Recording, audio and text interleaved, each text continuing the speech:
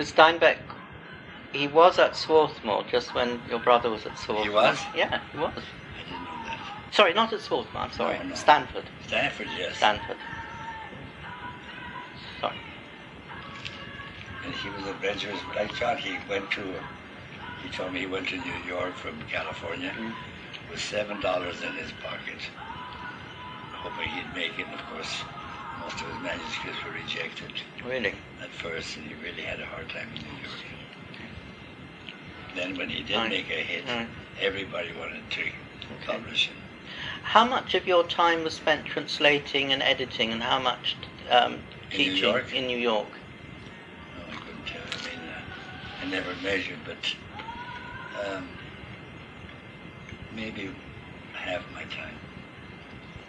Because I did, uh, in order to make a little more money, I used to take out contracts for uh, translating big, uh, for example, I worked with the American Smelting Company, translating a big uh, contract between the company and the Peruvian government.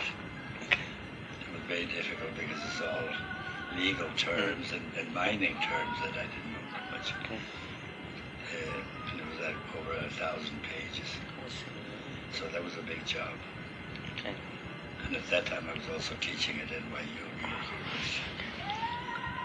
But you would call yourself a I, anything you want to call me, which I could do. To Anything, be anything- correct. yes. Anything uh, I mean, associated with languages. right. Either translating or writing. With Martí Ibanez, I did the Spanish edition of Mhm. and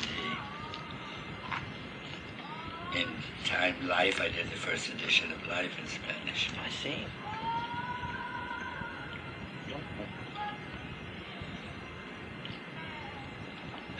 Grolier, the Mm.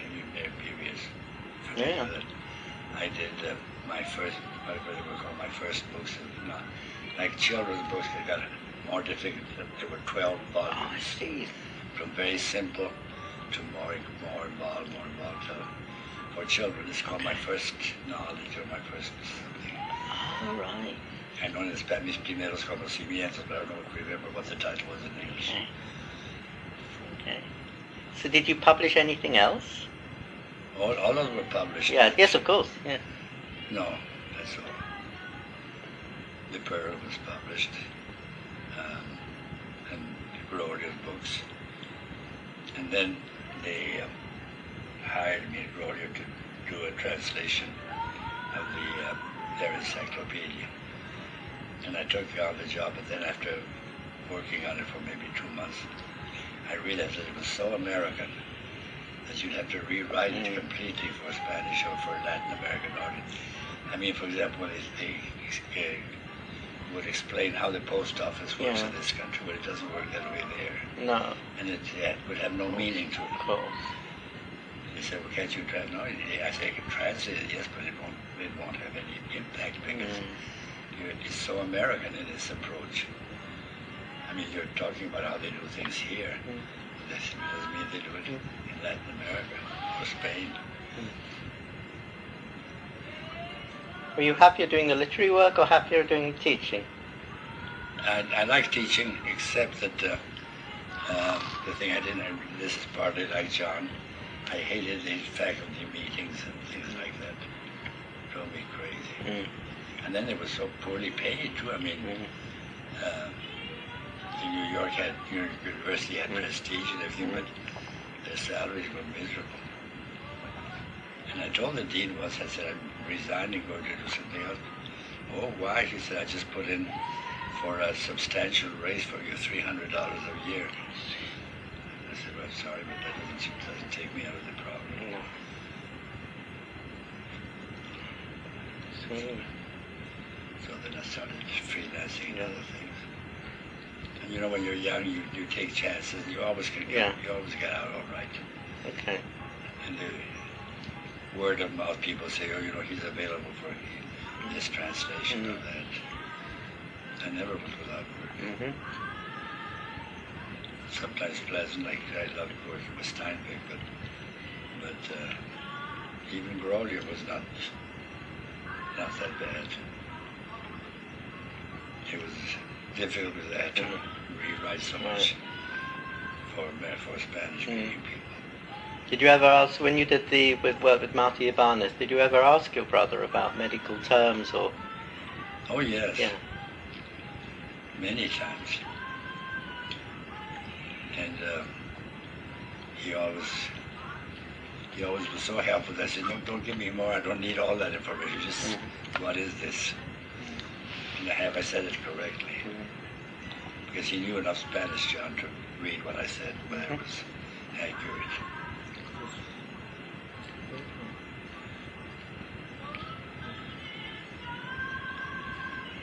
Did you ever read anything of Martí Ibanez?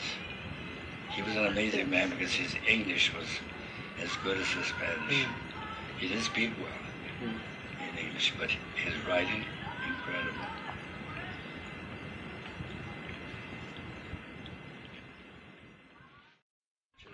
Interested in, in absorbing other cultures and, and then giving them to other people. In other words, writing about them in such a picturesque and lively way that you really were interested. I remember reading one of his uh, one of his essays on Morocco, and it really made you feel like going to Morocco. I mean, the, the way he described the way they eat, the meals, they, all that goes into it, couscous and all this business. Okay. And he had a great flair for it. He liked good food, and he loved experimenting different cultures. So uh, he was well travelled. Oh yes, Yeah. all over the world. Okay. And uh, was he married or Yes, twice. not? At the first wife, I think he married to be able to stay in this country. Mm. To, Yeah. you know, and they didn't get along, so they divorced. Then he married Josefina. I forgot her last name. She was uh, Puerto Rican. Oh, right. Very lovely woman. She had cancer. I see. And a, a beautiful uh, tropical garden in his office. Near the waterfall, all these ferns and things, tor- orchids growing. An enormous sculpture of Don Quixote in wood. You know, he was mentioned in very. Yeah. I don't know whether he knew probably was, and there are few people of any importance that did in dancing, Yeah. which I did, but uh, John never said I know. I invited Youskevitch to dinner with his wife. Very noble, Yeah. Yeah, because it's too, it's almost uh, too much. Mm. I mean, I wouldn't have considered blowing a horn if he said I had them to dinner, fine. Mm. And I would have said I'd known them for many, many years. Mm. And that was funny. We knew the same people very seldom met them, came together. I see. And I remember once he said to me, I'm having a big cocktail party on such and such a day. And I'd like to invite you, but there'll be people that I know you won't like. I see. And I said, how do you know? I just know it. Wonder who they were. I wonder too. I'd love to invite you, but I, I know there are people that you wouldn't like. Probably, I don't have an idea, maybe very loud or pushy or something. Because John could collect a, motley crew. Everything from a, a, in a good intellectual to a little hustler on 42nd Street. Auden was the same way too. Auden had a problem at Sarah Lawrence College where he was teaching because he invited the president of the, of the college to a little party at his home, and among the guests was a black woman that cleaned his apartment. And the president of Sarah Lawrence took a very dim view of that. Because she was obviously just a maid, black maid, but she was invited to the party. Which is perfectly all right. Absolutely. But uh, I forgot the president. He, John told me, he said, you know, I was in trouble with Sarah Lawrence College because the president felt insulted that he would invite him and a black maid. And that's stupid. Yeah. Stupid. She might have been more intelligent than he. He probably had all the all the tricks of getting money for the college, Mm. but probably in intelligence she probably was superior. I had a black maid in New York for about 18 years, from the deep south, really black, not not mulatto. Mm. And uh, she, I, I kept her. She wasn't the best worker, but she used to amuse me with her speech and what the way she, the way she uh, uh, described things. I remember her son married a very pretty, high, uh, white mulatto girl who was very attractive and barely was stepping out on Hannah, my maid's Mm. son. She said, I don't know what to do. I said, Anna. Anna was very religious. She sang in the choir of the Abyssinian church. And I, I said, would you take her to church with you? Maybe that would help her. She said, Miss Thompson, take her to church. No way. She said, eyes holy sanctified. Oh boy, eyes holy and sanctified. She couldn't take it. Whatever she meant by that, I don't know. But if she saw this big black woman holy and sanctified, no, no, I could do that. Eyes holy and sanctified. Think your brother, I mean, did he know Martin Luther King? John, Yeah. Or did he, was he just in the sort of I know following about him? that march, but I don't know whether Yeah. I should know. You see, that's the- problem with John, in my mind. He never really told me who he was, had contact with, or who he was seeing, or. You see, it's interesting when you said, oh, you know, at towards the end of it, he said he couldn't say. Well, he could have, he could have perhaps known that there was some abuse going on. No, not in his, you know, that he might have oh, known yeah. about something that was corrupt, that's right. and that was which he felt he couldn't talk about, but was a psychological burden for him. I mean, That's that right. could, so It's- you know, yeah, it's true. it could be. Yeah, because it, he did he did take things to heart and was upset by injustices or violence. Mm, It really uh, made him very nervous, very, very mm, depressed many Yeah. times. Like, I wish I could do something about mm, it. absolutely. So it could have been that could have been a It burden be, on him. That's right. rather than something to do with his feel, you know, his emotions. That's right. included. You're right. a terrible knowledge of yeah, of something wrong. something wrong, some experiment, Whatever, some yeah. mistreatment, some, you know, it could be something medical, something whatever. It could, you know, but there was something he felt was so I know wrong. one thing that disturbed him was in the corporate world how people knife each other to go up on the scale, the corporate scale. That just upset him a lot. That some somebody he knew got knifed and Mm, demoted, or somebody else took a higher job because they used politics or for knifing each other, jockeying for position.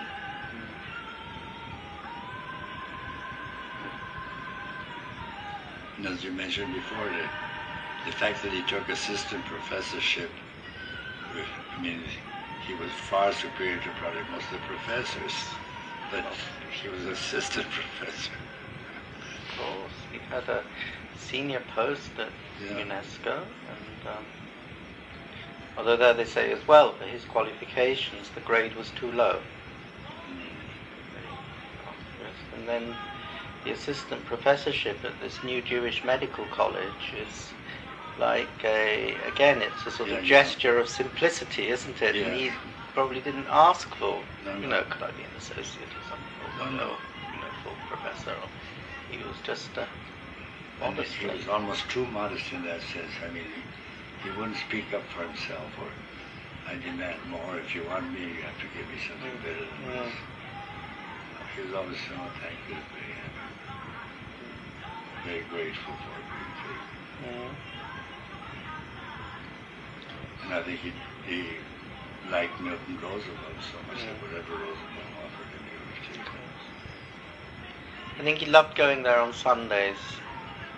I think To he would go, yes, he would yes. perhaps go after mass. That's right. he said, be with the the children, Michael, and the, there two girls, as, the two girls as well.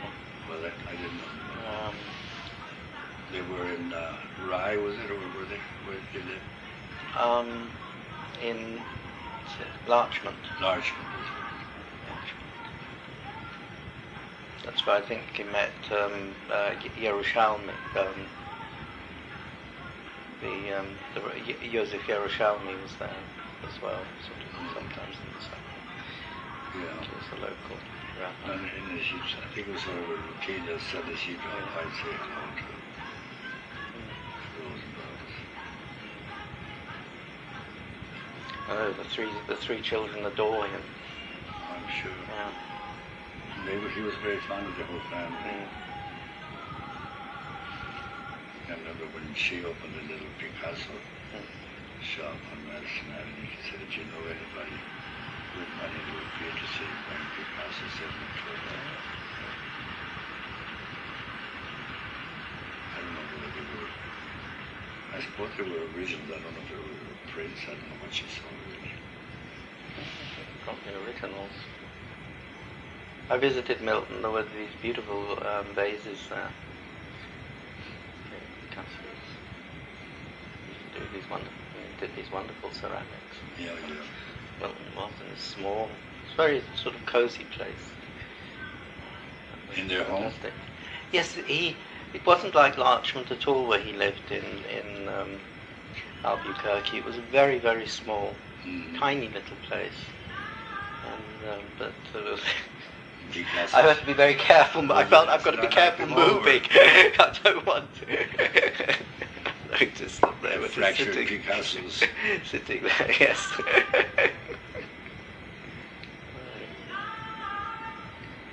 Your brother didn't know Picasso. I don't think so. I don't think so. No. No. She knew Braque, but because she, she had a beautiful uh, lithograph of Braque, and I think it has a, I'm not sure it has inscription. on it. Okay. But uh, and Pic- he was a, Braque, and Picasso were very close. I mean, they were both doing more or less the same type of work. Because Barry Bandler mentioned that your brother had sort of did, said, "Oh, you know what you're doing is like Picasso," and so on. Oh. That's because to encourage Barry, isn't it? Oh yeah. Uh, No, to me, what what I saw of, the, of uh, Bandler's work was more impression, like the fresh impressions, like punctualism and things like that, where, where the brushstrokes were more or less little dots rather than strokes. A mass of little, a mass, mass, very heavy, very heavy Yes. paste. Yeah. Said he worked very, always worked very quickly. Yes, it looks like it's done. Yeah. It's not very thought out or Yeah. very. Like it's a, Hmm. what you felt at the moment. Yeah. That's it. And it's very moody. There's a, you know, what I have here is a vase of flowers of his, which should be happy, but there's a there's a gloom over it. It disturbed me over that. I never had it where I would see it often because it, was, it would depress me. I could sense that he was depressed. Very, very strong feelings. Yes. And it comes through in his work. and spoke to me in a very powerful way and very penetrating. Beautifully formed sentences, Yes, yes. and fantastically observed, and, uh, the, uh, in a real power of language. Yes. terrific. Amazing. Um, But he's not painting anymore. no, he's there surrounded by canvases, but they're all from they're all his past. Yeah. I would have to look at things like the Kierkegaard and. I have to follow the, you could say, the, the, your brother's intellectual breadth. Stunning. incredible, really. Yeah.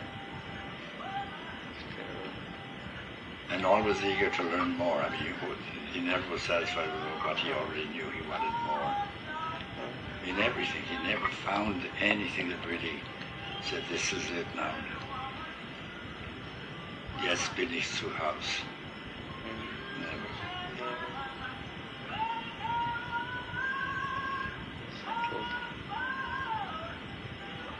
When uh, he had this uh, tremendous uh, drive to listen to flamenco music. I thought maybe that because they do have a great, uh, you know, uh, lamentation in their songs, minor key, and and uh, so most of them are laments, and there is uh, a person in pain, suffering. Maybe this will, will help. I mean, maybe this will really be. But he got tired of that. So, okay, so the, enthusiasm burns through then. Absolutely, yes. And he thought, I always felt that he felt this may be what I really need to listen to. This will do, will fill that void.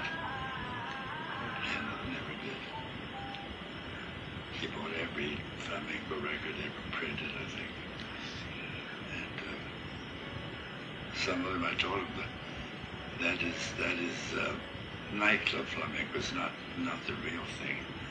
It's what tourists want to hear when they go to Spain or something. It's, it's for nightclubs or, or, or stage shows, but real flamencos, when you find them in some little tavern near Sevilla, not on a stage or special lighting or anything, where they're really singing their heart out. I wouldn't, I, I wouldn't have been surprised if you took a trip to Spain just to hear that. Would have been in the 60s? Yes, in the late 50s, early 60s. 60s. But he did go to, when he didn't go forward that to France, but he did discover this anthology of flamencos done by Pathé, the French company. Beautiful job. And of course he had it. And they had recorded all the, the outstanding flamenco singers of the period, men and women. And she was very much moved. The, the Saetas. Are you familiar with flamenco music at all? I've uh, sort of heard about it, and there was um, a book uh, uh, uh, which was written about someone who spent a long time and Yeah. sort of goes to, as you say, to But they have in Holy Week. In Easter, they have a week of the processions in Sevilla. And the Saetas is a flamenco type of song that sings the Passion of Christ as they walk down the street. The only accompaniment are drums and the voice of a flamenco singer. The most moving thing you could ever hear. And of course lamenting the crucifixion of Christ. And the sorrow, the pain in it, you wouldn't believe it.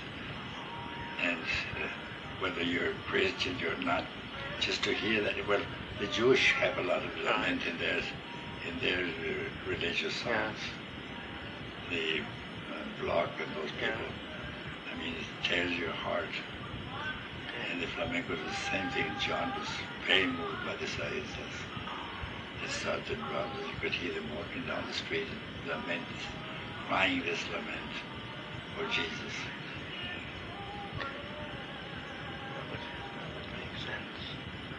Saeta in Spanish is, is an arrow, Okay. and the name of the the type of song is called an arrow. Okay. So this the enthusiasm for flamenco was definitely when he was in New York rather than at in at Au Vive um, in France. No, in, in New York. Definitely. I'm not quite sure. I mean, how often then he went back to Europe? Um, not too much. He went to Mexico a couple of times, once to talk to Fromm. And once remember they had an operation, gallbladder operation. But um, to Europe, no. When he was with UNESCO, he did quite a bit. Of course. Yeah, Back and forth. That's when he used to stay with, when he come to New York, he Yeah. stayed with me in my apartment, yeah. which he called Shangri-La.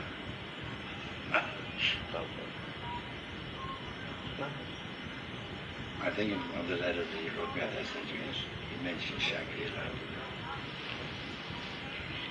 And when he visited Washington, did you see him when he visited Washington during the war? I saw him. Yeah, during the war. No, you were. No. no. Never once. Because there were a couple of visits that he did during Oh, the war. yes, but I, I was in the Navy Yeah, at the time, I don't know where I was. I mean, where I was stationed, but we never coincided.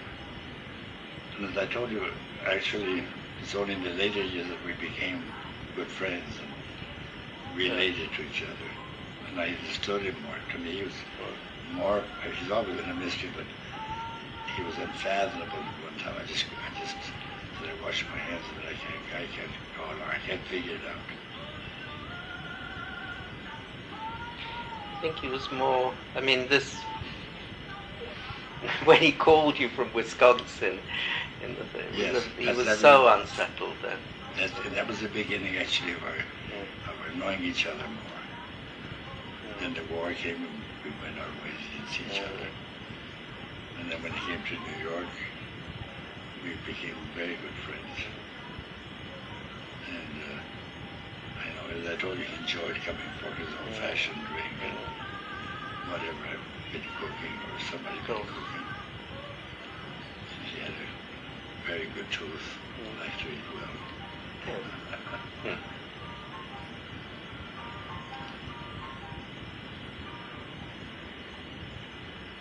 And he's, just as she said, he told me he did enjoy coming to my apartment after work because he could just relax completely.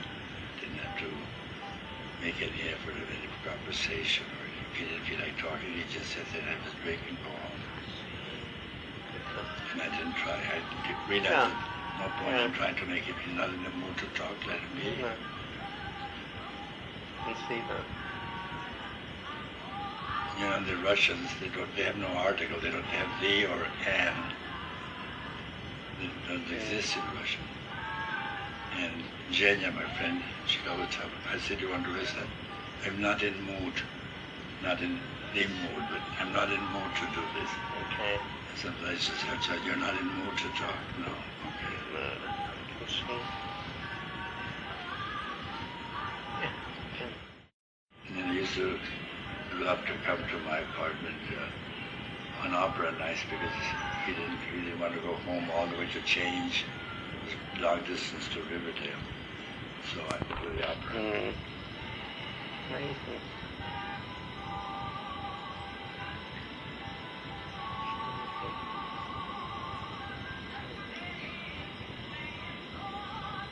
There's one detail I wanted to ask you, and um, could you tell me the year that your grandfather died, or your mother's father? What year? Yeah, do you remember? I think it was 1917. Oh, he died already in 17. I think so. 16 or 17. So it was in just at this, in the revolution, he Yes. died. Yes, that's the well. The revolution started in 1910. Okay. And the first constitution, when the thing is sort of the shooting and fighting and stuff, they made the first constitution in 17. And I think that's the year my grandfather died. I think. So that meant the inheritance passed to the daughters and the son, With no inheritance, there was nothing, but it, they were already expropriated. you know, all appropriated. And his wealth, as my brother Philip said, he was extremely wealthy, but in land and in, in the uh, wheat and whatever he sold, and um, in actual money, liquid cash now. As a matter of fact, he gave my father a very hard time when he wanted to marry my, my mother, but my father paid for all his expenses in the hospital, my grandfather, and burial and all that. He didn't have money to pay himself. So it's sort of ironic turn that the person that my fa- grandfather had looked down on was the one that paid all his expenses in the hospital. He was in the French hospital in Mexico and paid for the funeral. All, expenses connected with the, the final stages of life. He was such a grand, sort of grandee, and He, he yeah, was in it with a white goatee and all that was but penniless. tragic. So, and that meant your brother Philip really was a self-made man. Oh, absolutely. It was, it was all this. So Philip and Val and so on, it was just their Yeah. um, Good Philip instinct. always uh, and he loved the Miraflores. And he was always hoping that we would do something. Yeah. The land we couldn't touch had been already expropriated. But the houses, there were three, hou- three houses, different parts of the hacienda.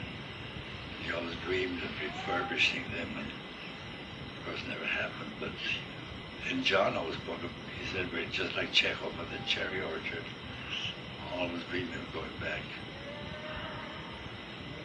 And he dreamed, and John lie. I said, but you don't even remember. He said, I do. I, didn't, I remember perfectly. Because he was so young when he left. And he he said we could we could get a Mirafloritos, a little Miraflores in Portugal. Let's let's uh, pool our resources. And I was smart enough to realize that it would be my resources. He, he'd come up maybe with ten dollars or twenty dollars, and to him anything was twenty dollars was very important, but in two thousand it was not more important than twenty dollars. I mean, Yes. he felt if he contributed twenty, well, that's okay. Did he say that in the 50s when you visited him in Yes, when, yeah, when he, yes, Yeah, that's when he had the idea of going to Fatima and um, yeah, that's right. And he wanted to go to the Algarve and, and would buy a little place, called Little Little Miraflores. she was fascinated by this Fatima. Um, He was, revelation. yes. But anything, Strange, strange. um, when I went to Ireland, he said, well, I'll come to visit you. Because, uh, no, but when I was talking about going to Ireland, he said, if you do go, I'd come visit you for Our Lady of Knock is there. So he was fascinated by shrines and by apparitions. The Virgin Guadalupe he loved. She appeared on the, on the sack of the angel, you know, who was carrying roses. And when he emptied his sack of flowers, the Virgin appeared on the sack. He loved that.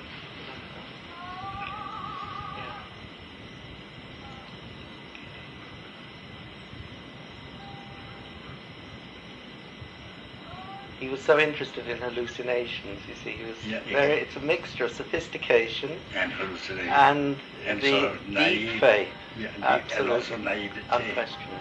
I mean, he would accept the fact that she appeared painted on this horse uh, gu- gunny sack where, where Diego was carrying the flowers. And when he went, I went with him a couple of times to the Basilica of Guadalupe in Mexico.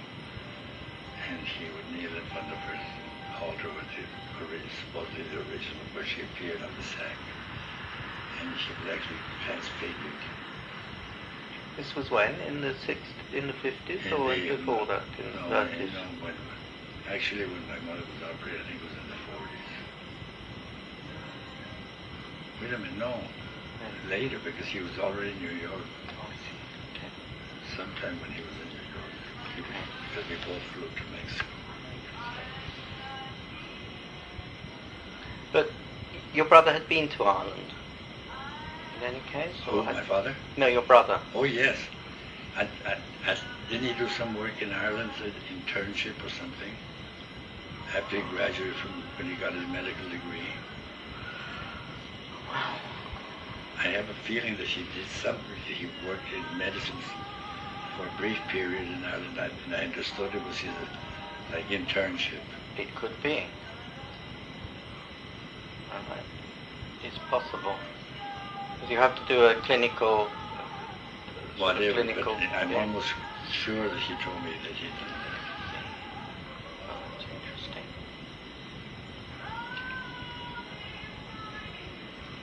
And he could imitate the Irish brogue perfectly.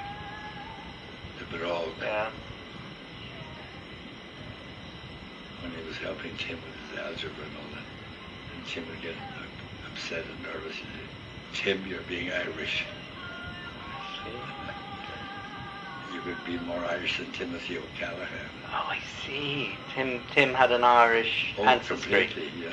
Oh, right. Father and mother were from uh, from County Kerry, actually, from a place called Cumin, a little tiny village, Nagashon. Okay. He was born in, in uh, Brooklyn, but uh, his parents both came over. So that was like a, a homecoming. They Oh, all back to return to. Oh, yeah. The Yank relative coming to back to the little sod. Yeah. Well, it's It the is. common pattern. Yes. Common.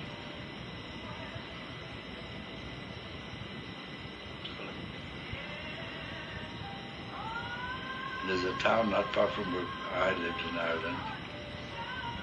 They, I forgot what they called it, but they, they, to this day, well, till I left Ireland, they wouldn't allow electricity. People, the, the residents wouldn't allow them to put any electricity in the town. No lights, no refrigerators, no television, nothing. And they fought it tooth and nail. And when I left, they still hadn't been able to electrify the town? Okay. Which is so nice. They put all their things on the balcony, on the outside the window to keep cool.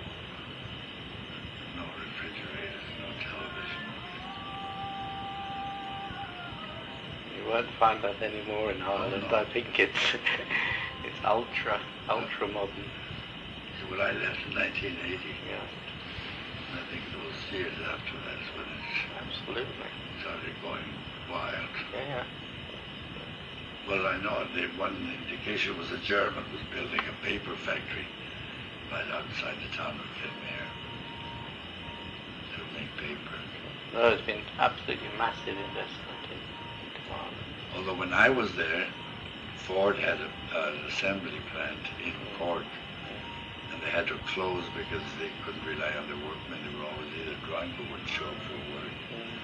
And they always had excuses, a wedding, a, a baptism, a death in the family, they wouldn't show up for work. And they went into high tech.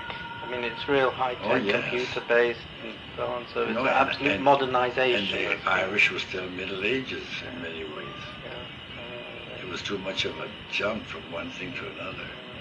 I mean, it was still trotting on donkey carts and things like that, Yeah, you know. Yeah. And you had the the Concorde flying over hard, and you could hear the thunder of the engine, and here with the Irish with their little donkey.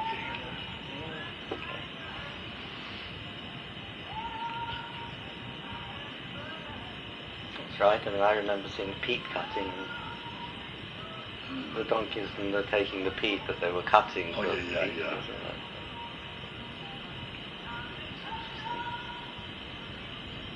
And John liked Ireland, so I met, well, of course, he was, for one thing, a very Catholic country.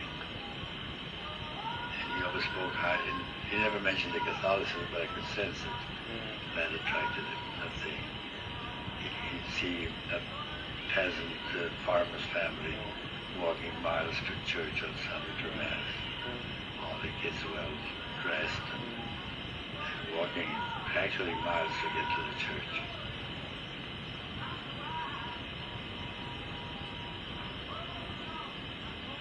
And like the Latin American countries, not, a lot of it was, uh, I imagine they, they felt something, but a lot of it was superstition too. They were very afraid of the church. You know, just like they were afraid of the of the fairies. They cast an evil eye on you, you've had it. So you better be good to the Virgin and to all the saints because they, they might do something that you were not expecting. Ex- well, I find it it's extraordinary the way your brother. I mean, he's in some ways so sophisticated in terms of the his, you know his aesthetic sense and and then there's this other side with very very simple religious images. Yes, like like a child almost. Yeah. But that's John. You know, everything was either very Yeah. sophisticated or very naive, childlike. And having a sort of And child, not being childish in a stupid way, but the, the trust, the, the faith of a child that you tell this is that they accept it.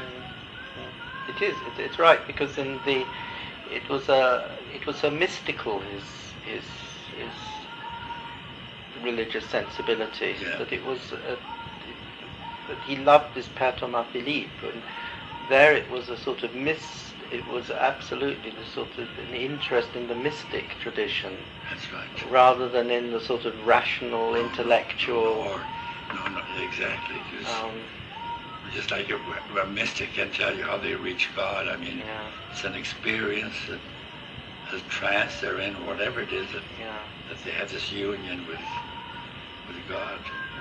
And the stages that they have to purify their soul to get there. Okay. Santa Teresa's book, The Seven Dwelling Places. That's, that's what she called her book. That's uh, uh, uh, Teresa of Avila. Right. Yeah. And I love that book because she's so, as I said, so direct, so um, simple in her approach to the seven stages that the soul goes through before it's, before it finds union. I don't think I ever got to read it, He did read you Teresa. did? He writes in a letter that he's, Oh, he's reading. The only question I had was because there are a, there are a couple of Teresas. Which one? I was just wondering whether, no, it was the one that she, Okay. uh, but I didn't know whether, because she has one that's more or less a biography, as autobiography of herself. And the one that I liked a lot was the Seven Dwelling Places. Probably did, because most of the things, anything connected with uh, saints writing, he would he not want to know was like them, but he thought read them. St. John of the Cross he was devoted to. And I've never read St. John of the Cross in English. I don't think he read him in Spanish. Because it was an effort for him to, I mean, he wasn't, didn't feel comfortable in Spanish. I think, I imagine he read it in translation. Actually, I, when I had to dismantle his apartment, I didn't have time to look at the books. I just saw all these books that had to be boxed and set somewhere. Because the people that owned the apartment building were pressing me to get out. And then not only get out, but I had to pay the all somebody took the apartment. And the super was showing some other apartment when I advertised it.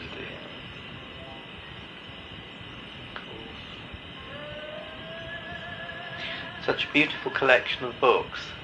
Hmm? It's such a beautiful collection know, of I know, I books, and I that. found that each one absolutely fascinating. And Yeah. because sometimes your brother has Would got a pencil, little yes. notes in the margin, and um, I mean those that I've I spent two days looking at looking at them and studying them, and there was never enough time. And I always felt, no, there's sections of this library, and I don't understand it yet. Yes. The religious, you see, now I would understand much more the religious books. And that's how I Yes, and the more we've talked about it, the more I understand, John, from Mm. your observations too. I mean, it's the only way anybody could ever know him is talking about him and trying to put this puzzle together. I mean, somebody's really interested in, in analyzing his psyche and his his emotional states, is that what he Mm. praised most in life.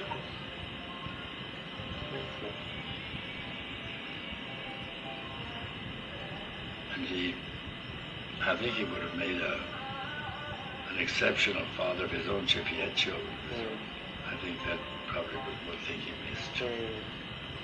Because all these other people he, that he took under his wing, he, they were his children. Yeah, absolutely. He he moves from being the the disturbed adolescent to That's being right. the the father, the, father, confident father right. figure, having that And, status and authority. security, Yeah. making them feel secure, Yeah. and not frightened. And he even speaks about, gives advice about child rearing, how you bring up children to mothers. Even if he first he thought he should, the fact that he was being ordered would make him say no. Okay. He tell me, can you imagine what they wanted me to do with the servant? I'm not going to do that. This was at Einstein. Or Uh, Yes, at uh, university there. yeah. Okay. Although I, I'm sure that, but I know that Roosevelt was most uh, accommodating to John. And so I think he put up with John's tantrums or everything and took them for what they were worth at John.